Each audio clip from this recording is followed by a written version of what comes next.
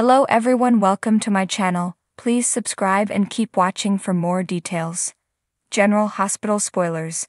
Nina and Drew's unexpected kiss. Carly sees ex and foe bond and rages. General Hospital, GH. Spoilers note that fans should always expect the unexpected where the land of Port Charles is concerned. During the Thursday, March 21 episode, Drew Cain, Cameron Mathison, stopped by the invader to see Nina Reeves, Cynthia Watros, and offer her old job back at Crimson. Fans on social media picked up a very different vibe between the two this week. Drew seemed a lot calmer in this interaction with Nina than in the past, and their banter seemed on the cusp of flirting. So could these two be heading toward a romance? General Hospital spoilers. Nina and Drew move on from their broken relationships. GH spoilers suggest now that Drew and Nina are single. A relationship could be in the cards. While Drew seems ready to move on from Carly Spencer, Laura Wright.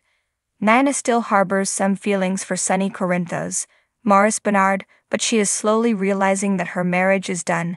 It'll take some time for Reeves to move forward with her life, but she's getting there. Soap couples often start at opposite ends of the fence, only to gravitate toward each other. If Nina decides to head back to Crimson, which she likely will, this means that she and Drew will be working closely together once again. Their current animosity could slowly turn into sexual tension, and with stress running high when it comes to running a top magazine, they could let emotions get the better of them. GH spoilers The Carly Spencer factor. Considering that Nina is Carly's nemesis and Drew is her ex, it's highly possible that if and when Dina locks lips for the first time, Ms. Spencer could catch them in the act. Of course, she'd explode with anger and make it all about herself.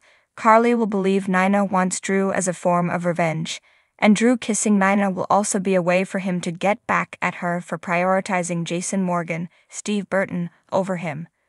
Either way, she'll feel betrayed by Drew. But that won't be the case if Drew and Nina end up hooking up. Nina is the last person Drew would want for a relationship and vice versa. However, as soap fans have learned in the past, you can't always help who you fall in love with, right? How much would Carly rage if she saw Drew kissing Nina? Comment below.